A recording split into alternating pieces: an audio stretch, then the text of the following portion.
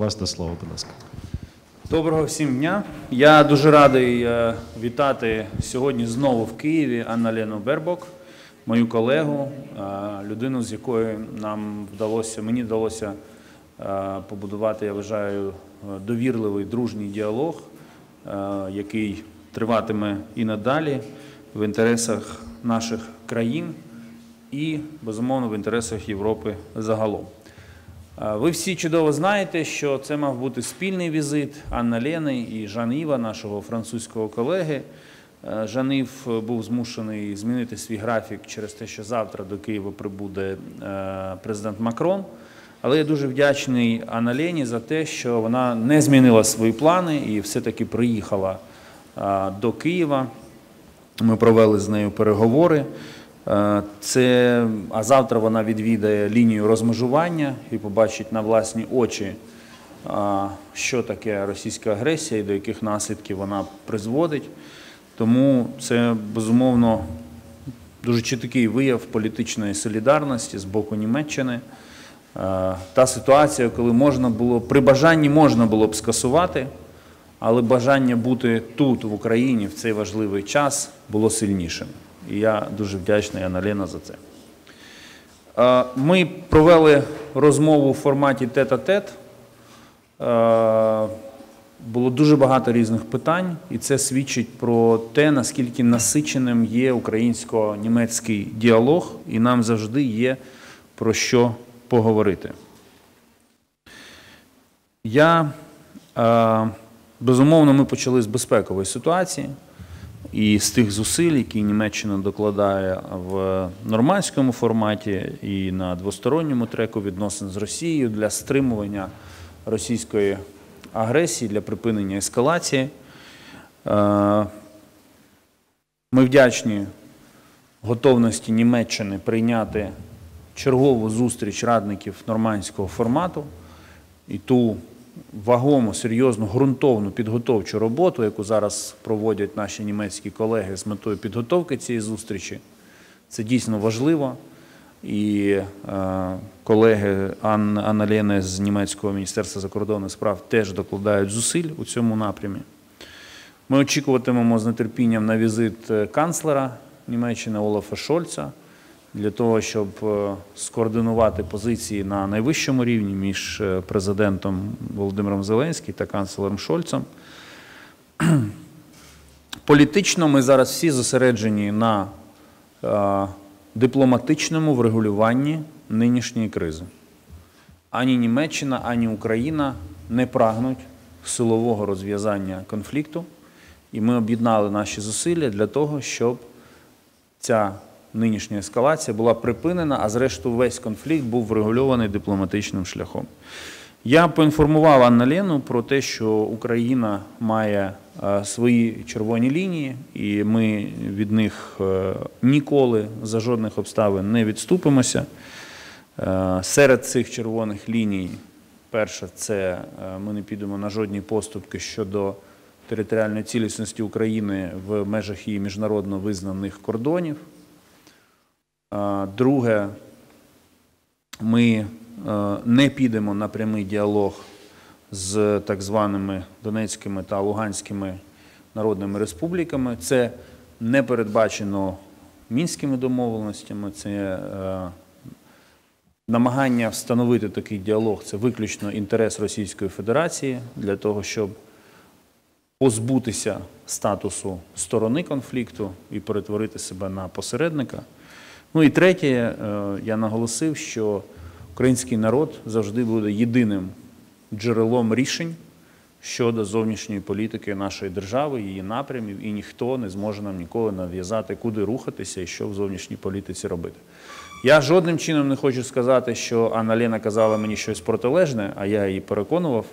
Ні. Е, Зараз в Україні дуже популярне питання, чи примушують іноземні гості е, українську владу до якихось поступок. Я абсолютно відповідально заявляю, що сьогодні під час ані сьогодні під час зустрічі, ані перед цим Анна Лена не примушувала мене е, до будь-яких поступок в питанні е, врегулювання конфлікту. Це був дійсно обмін думками між друзями і партнерами, які прагнуть одного врегулювати цей конфлікт дипломатичними засобами. Ми говорили про енергетику з фокусом на розвитку альтернативної енергетики. Всі ми знаємо тему Північного потоку, 2 але не ним єдиним живе, живуть наші країни. У нас є е, серйозне майбутнє, яке ми хочемо побудувати довкола відновлювальних джерел енергії. І у зв'язку з цим особливу увагу ми приділили е, проєктам в сфері водневої енергетики, які мають в ідеалі з'єднати наші економіки і бути взаємовигідними для наших держав. Ми домовились про конкретні подальші кроки у цій сфері. Це буде добре і для української економіки, і для німецької економіки, і для економіки Європейського Союзу. Крим. Е, теж був у нас сьогодні на порядку денному, і ми, е, я поінформував Анну Лену про те, що в Україні в серпні відбудеться парламентський саміт Кримської платформи. Ми очікуватимемо на е, делегацію відповідну з Німеччини. І в ширшому контексті ми, в принципі, поговорили про європейську перспективу України, про європейську інтеграцію нашої держави, нові можливості на цьому треку.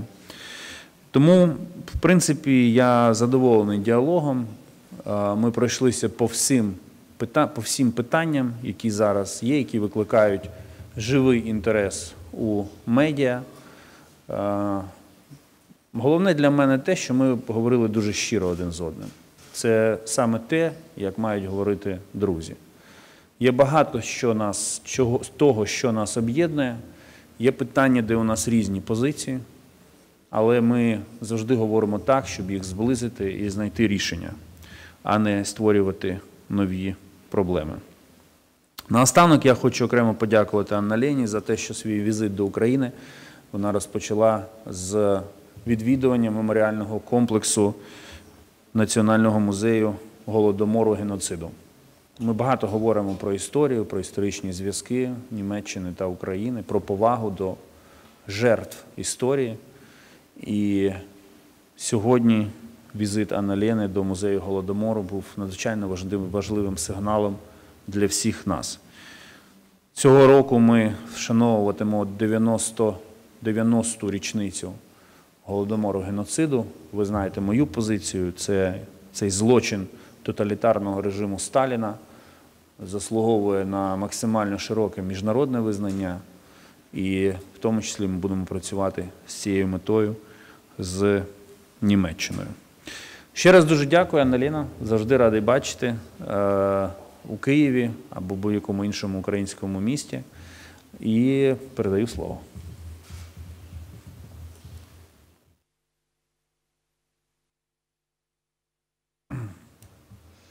Ja, vielen Dank auch nochmal von meiner Seite, lieber Dimitro, dass äh, wir uns äh, jetzt zum zweiten Mal äh, so freundschaftlich hier treffen können, nicht mal innerhalb eines Monats. Äh, schönen guten Tag, meine sehr verehrten äh, Damen und Herren. Gerade so ein langes Vier-Augen-Gespräch, eigentlich nur ein Vier-Augen-Gespräch, zeigt, dass äh, trotz der Kürze der Zeit, die wir uns kennen, wir ein sehr vertrauensvolles Verhältnis miteinander haben.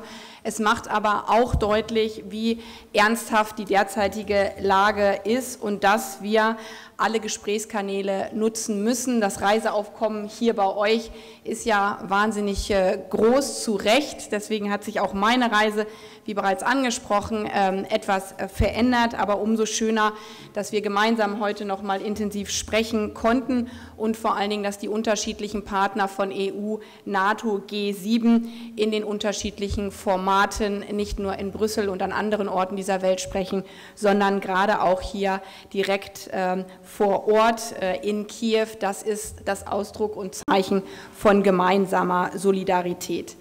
In unseren Bemühungen um Dialog mit Russland haben wir daher gemeinsam als NATO und äh, gemeinsam mit den USA unsere schriftlichen Antworten überreicht, die deutlich machen, die Verantwortung, der Ball liegt im Feld von Moskau. Es ist an Ihnen, diese Situation zu entschärfen. Es gibt jederzeit, das ist der Sinn von Diplomatie, eine Bereitschaft zum ernsthaften Dialog mit Russland, aber auch absolute Klarheit darüber, dass es Konsequenzen und Härte hätte, falls es zu einer weiteren Aggression gegen die Ukraine kommen würde. Das ist die gemeinsame enge Linie zwischen uns, aber auch gemeinsam mit all unseren Partnern und Freunden. Und es macht deutlich, in welcher großen Geschlossenheit wir gemeinsam auftreten. Wir stehen ohne Wenn und Aber zur territorialen Integrität und Souveränität der Ukraine. Und diese Solidarität will ich mit meinem Besuch heute hier noch einmal unterstreichen und ganz deutlich zum Ausdruck bringen, dass wir alles dafür tun werden, dass es zu keiner weiteren Eskalation kommen wird. Wir haben deswegen eine Reihe von harten Maßnahmen gemeinsam gegenüber Russland für diesen Fall vorbereitet. Diese Sanktionen sind präzedenzlos und mit allen Partnern abgestimmt und vorbereitet. Ich möchte an dieser Stelle auch einmal darauf hinweisen, aufgrund der engen wirtschaftlichen Verflechtung von allen Partnern, aber insbesondere auch meines Landes, ja, wir sind auch bereit, selber dafür einen hohen wirtschaftlichen Preis zu bezahlen, denn es geht um die Sicherheit der Ukraine. Lieber Dimitro, ihr wisst, dass ihr auf Deutschland zählen könnt und das nicht nur im aktuellen Konflikt, nicht nur in der aktuellen aggressiven Situation von seitens Russlands, sondern gerade auch in der Pandemie haben wir und werden wir weiter eng zusammenarbeiten. Auch bei der Frage Gastransit sind wir im ganz, ganz engen Austausch und vor allen Dingen, das hast du bereits angesprochen, das war mein letzter Besuch, dem ich dem gewidmet habe, vor allen Dingen auch bei einer zukünftigen weiteren intensiven Energiepartnerschaft und vor allen Dingen den dafür notwendigen Investitionen in ganz konkrete Projekte. Und wir haben gemeinsam lange darüber gesprochen, wie wir das weiter intensivieren können. Die Berliner Energietage stehen direkt vor der Tür. Das wäre genau so ein Anlass, um eben die Zusammenarbeit gerade mit Blick auf Wasserstoff noch mal weiter in die konkrete Planung zu bringen. Auch im Bereich äh, Cyberabwehr kommen wir voran. Noch Ende dieses Monats reist unsere deutsche Cyberbotschafterin nach Kiew. Wir wollen so bald wie möglich eine ressortübergreifende Cyberkonsultation auf den Weg bringen, um in allen Bereichen wirklich gewappnet zu sein. Und schließlich, und das ist mir wichtig, an dieser Stelle auch nochmal öffentlich zu unterstreichen, weil das fällt manchmal hinten runter, es sind eigentlich die wichtigsten Maßnahmen zur Stabilisierung. Seit Jahren ist Deutschland im zivilen Bereich der größte Geber für die Ukraine. Auch hier werden wir, das habe ich bereits deutlich gemacht, unsere Unterstützung, die wir mit Blick eines Kredits bereits auf den Weg gebracht haben, noch weiter intensivieren und auch noch mal weiter erhöhen.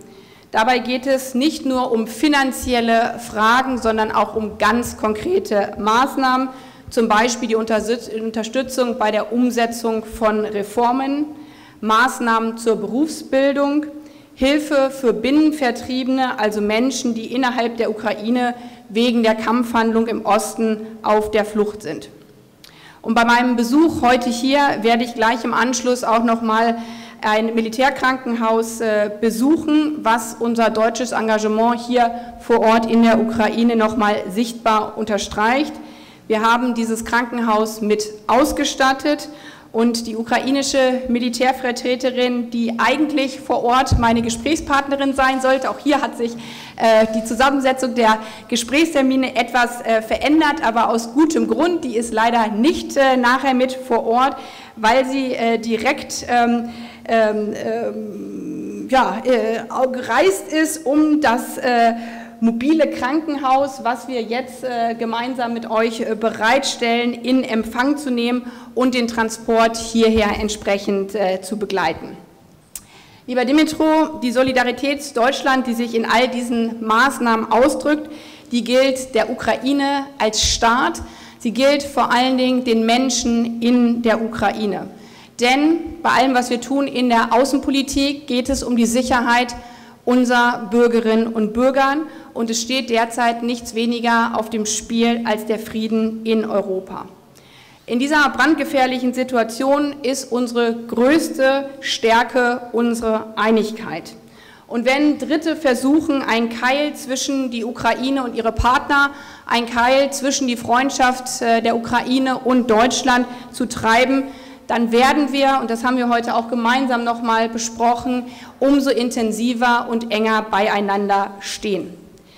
Wir werden daher weiterhin auch den engen Taktungsdraht, den wir nicht nur bei Besuchen haben, sondern auch telefonisch und äh, im SMS-Austausch weiter intensivieren, weil wir gerade mit Blick auf äh, die Umsetzung der Minsker Vereinbarung endlich, endlich wieder vorankommen müssen.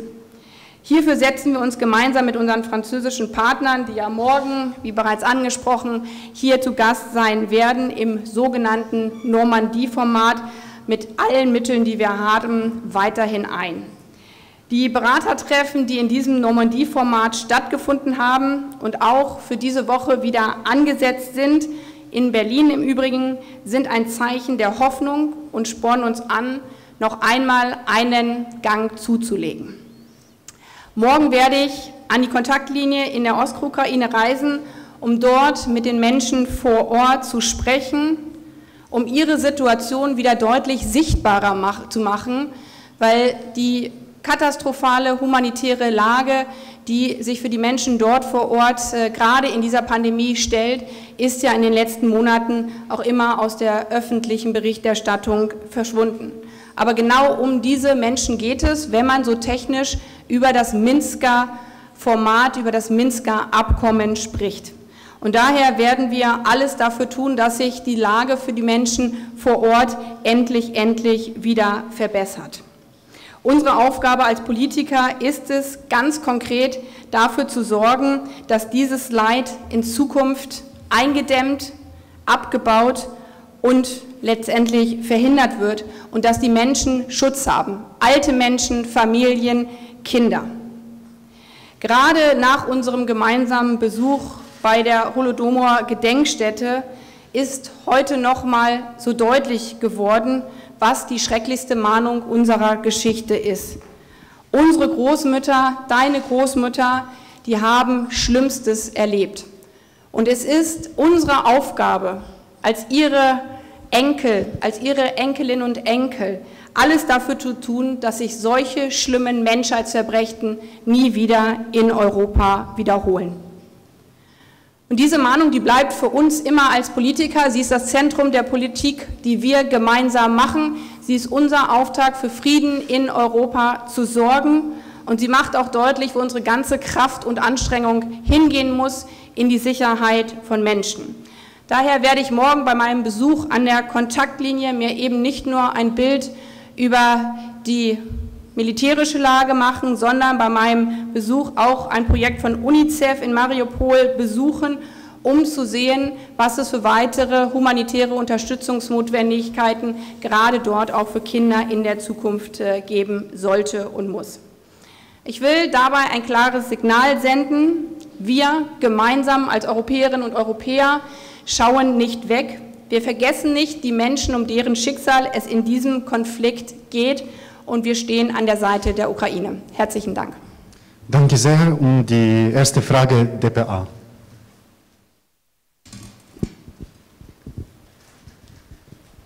Ja, danke schön. Jörg Blank von der Deutschen Presseagentur. Ähm, Frau Ministerin, es gab jetzt ein bisschen Verwirrung um den Termin mit Herrn Zelensky. Das Präsidialamt sagt, es habe nie einen Termin gegeben. Könnte die Absage vielleicht damit zusammenhängen, dass Sie jetzt auf die Waffenwunschliste nicht eingegangen sind und auch Herr Scholz gestern gesagt hat, es gibt von Deutschland keine Waffen an die Ukraine und Herr Minister, Herr Kuleba, äh, hat die Ministerin Ihnen dann begründet nochmal, warum Deutschland keine Waffen liefert. Darunter sind ja auch Waffen wie zum Beispiel Nachtsichtgeräte. Könnten Sie sich vorstellen, dass Deutschland so etwas liefert? Dankeschön. Vielen Dank für Ihre Frage. Treffen sind ja kein Selbstzweck, äh, sondern unsere Preise war geplant, äh, gemeinsam äh, mit Jean-Yves Le Drian, meinem französischen äh, Kollegen, Und in dem Zuge hätten wir gemeinsam äh, den Präsidenten äh, getroffen. Jetzt haben sich die Reisepläne gerade auch auf französischer Seite anders gestaltet und das ist wichtig und das ist auch in enger gemeinsamer Abstimmung, weil ähm, wenn jeder Tag planbar wäre in einer Situation wie dieser, dann wäre sie offensichtlich keine brenzliche Situation und daher ist es ganz selbstverständlich, dass sich damit auch äh, die Gesprächstermine hier vor Ort äh, von meiner Seite nochmal angepasst haben. Ну, е, по-перше, ще раз хочу подякувати Анна Лені за те, що вона приїхала до Києва попри е, зміну в графіку Жаніва. Ми з розумінням ставимось до цієї ситуації з французького боку. По-друге, ніяких е, проблем з зустрічю з президентом немає. Давайте не створювати якусь конспірологію довкола цього. Я нагадаю, що минулого разу, коли Анна Лена була в Києві, вона мала зустріч з президентом Зеленським. Відбулася дуже змістовна, тривала розмова. Зараз у нас е, дуже активне дипломатичне життя в Києві. Ми його називаємо функціонує мережева дипломатія. Всі до нас їдуть, багато телефонних розмов. У президента насичений графік, але в жодному разі не потрібно сприймати відсутність е, цієї зустрічі як якийсь політичний сигнал. Що стосується питання зброї, то так, е, безумовно, ми про це говорили. Ну як же ж ми могли про це не говорити? Але дуже важливо, що сьогодні ми, е, скажу дипломатично, сьогодні ми говорили не лише про те, що Німеччина не може зробити з тих чи інших причин, але й про те, що Німеччина може зробити, і те, що вона має намір зробити для підтримки України. Конкретно в цій сфері, в, в сфері оборони та безпеки. І це була відверта розмова. У нас дійсно тут е, позиції е, відмінні.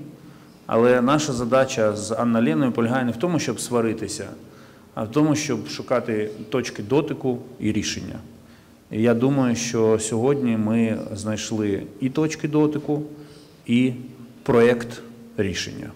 Тепер чекатимемо на крок німецького уряду. Роксолана Бичай, Радіо Свобода. Ставте питання тільки. Вітаю, сподіваюся, мене чуєте. Вітаю е, пані Бербок, вітаю пане Кулеба. В мене питання буде стосовно нормандського формату. От хотілося б почути, можливо, вже е, відома точна дата, бо е, раніше говорили про те, що це може відбутися 10 лютого. Е, І, власне, е, який порядок денний, з чим обидві сторони будете виходити на цю зустріч, і на який результат е, власне ви очікуєте? Дякую.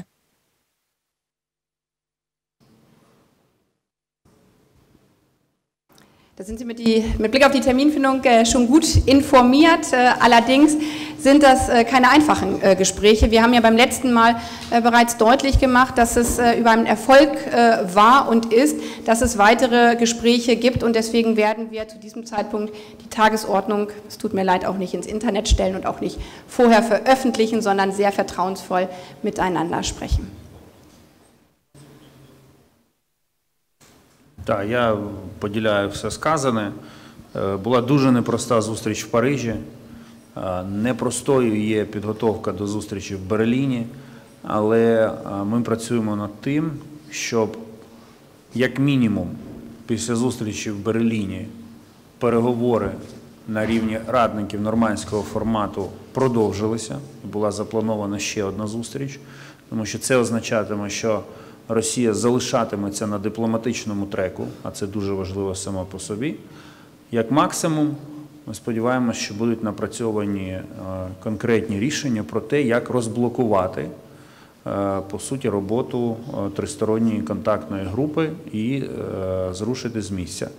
Всі ті конспірологічні теорії, чутки, які зараз циркулюють в українському медіапросторі і нагнітають атмосферу, Е, вони не відповідають дійсності. Е, на жодні переговори наголошую, на жодні переговори Україна не їздить для того, щоб здавати свої позиції або завдавати шкоди національним інтересам. І переговори в Берліні не стануть винятком з цього правила. Nächste Frage, Bild, Paul Ronsheimer.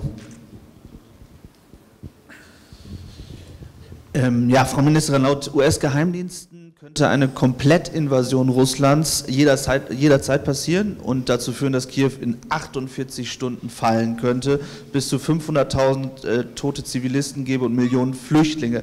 Welche Erkenntnisse haben Sie und deutsche Geheimdienste dazu und für wie wahrscheinlich halten Sie ein solches Szenario? Und eine Frage an den ukrainischen Außenminister. Herr Minister, was ist aus ukrainischer Sicht Stand heute das wahrscheinlichste Szenario und wie gehen Sie damit um, dass der deutsche Altkanzler Gerhard Schröder Ihnen Säbelrasseln vorwirft und machen Sie sich Sorgen um die Position der SPD? Auf die erste Frage, auch da ist es äh, so, dass wir gerade mit Blick auf Sicherheitsfragen keine öffentlichen Spekulationen äh, betreiben. Aber ich habe ja eben bereits deutlich gemacht, und das haben wir gemeinsam auch als NATO-Partner deutlich gemacht, gemeinsam als G7-Partner, als Europäische Union, dass wir äh, unterschiedliche Szenarien und Möglichkeiten im Blick haben, dass wir natürlich genauestens äh, beobachten, was es für Truppenbewegungen, was es für Übungen, äh, was es auch für Intensivierungen von äh, Truppen an der Grenze ähm, gibt, dass wir auch genau beobachten, und deswegen habe ich vorhin ganz bewusst den Cyberpunkt äh, angesprochen, äh, was es für Möglichkeiten gäbe mit Blick auf eine Destabilisierung äh, von innen. Mir ist aber wichtig, dass wir durch unser eigenes Handeln nicht Szenarien hinauf äh, beschwören, ähm, weil wir ständig darüber reden. Und deswegen ist einer der großen, großen Beiträge, den wir als Bundesrepublik äh, Deutschland zur Sicherheit der Ukraine leisten, eben auch finanzieller Art. Wir sind im Jahr 2022. Äh, und da ist ein Angriff eben nicht nur im Zweifel militärisch äh, ausgerichtet, da können im Zweifel Cyberattacken oder eben auch ein Abbruch von Lieferketten, ein Abbruch von Energieexporten Schlimmeres verursachen als äh, Panzer an äh, der Grenze. Und deswegen ist es so wichtig, dass wir als Partner deutlich äh, machen, wir sind mit Blick auf die Sicherheit der Ukraine, auf die Souveränität des Landes, auf die Sicherheit der Menschen, als äh, Partner auf unterschiedliche Szenarien vorbereitet und es hätte massive Sanktionskonsequenzen, diplomatische, wirtschaftliche Konsequenzen. Aber wir machen auch deutlich, dass wir ähm, diese gefährliche Situation nicht als Ausflucht dafür nutzen, äh, dass äh, die wirtschaftliche Lage in der Ukraine sich verschlechtert. Deswegen investieren wir als europäische, Invest äh, in, als europäische Union eben in zahlreiche Projekte in der Ukraine. Deswegen habe ich bei meinem letzten Besuch deutlich gemacht, dass wir gerade beim Wasserstoff weitere Projekte gemeinsam auch mit der deutschen Wirtschaft äh, auf den Weg äh, bringen wollen. Deswegen haben wir einen Finanzkredit auf den Weg gebracht und planen weitere Finanzhilfen in dem Bereich, ähm, weil wir als Partner an der Seite der Ukraine stehen. Базовий сценарій е, для Росії зараз це дестабілізація внутрішньої ситуації в Україні. Для цього Росія використовує військову ескалацію, кібератаки, поширення дезінформації і вбивання клину між Україною та її міжнародними партнерами. Я хочу підтвердити те, що сказала Аналіна стосовно Німеччини, що нікому не вдасться вбити клин між Україною та Німеччиною. Так от так само я хочу заявити, що нікому, як би хтось не намагався в Російській Федерації, не вдасться вбити клин між Україною та її партнерами. А це роблять зараз як Росія, так і проросійські політики у відповідних країнах, додаючи тиск з іншого боку. Е, Україна не виключає жодного, жодного сценарію розвитку подій. І в цих складних умовах ми вимушені готуватися до кожного з цих сценаріїв, і це ми і робимо. Але ми не забуваємо про те, що життя триває. Тому ми вже плануємо наш дипломатичний рік до кінця е, цього року, які будуть заходи, де ми чекаємо міжнародних гостей. Ми говоримо з Аналеною про майбутнє. От вона згадала щойно водневу енергетику. Це дійсно та сфера, де нам нарешті треба припинити говорити і почати діяти. І саме про це ми сьогодні з нею е, домовлялися. Е, Що стосується, да, тому останнє, що хочу з цього приводу сказати, не треба лякати українців війною. Ми ведемо цю війну з 2014 року. Ми багато пережили. Ми знаємо, що таке е, друзі, які загинули. Ми знаємо, що таке полонені. Ми знаємо, що таке зруйнована інфраструктура. Ми бачили кавалькади е, швидких е, машин швидкої допомоги, які везуть поранених до шпиталів в Києві. Знаємо, що таке здавати кров для цих поранених. Тому не треба нас лякати війною. Ми готові до всього. І якщо нам Росія все-таки нав'яже військовий, чергову фазу військового конфлікту, ми будемо боротися. Але до цього ми зберігатимемо абсолютно холодний спокій і сконцентрованість. І про пана Шрёдера ви запитали. Ну, дивіться, це громадянин Німеччини, який працює на російську компанію і безпосередньо, можна сказати, де-факто працює ще і на російський уряд. Тому коментувати пана Шрёдера це все одно, що коментувати речника Владимира Путіна. Там повна тотожність наративів, там одні слово в слово все збігається. Відповідно, я просто не бачу сенсу навіть е, для якихось е, детальніших оцінок. Das ist alles. Danke Ihnen. Дуже дякую. Vielen Dank.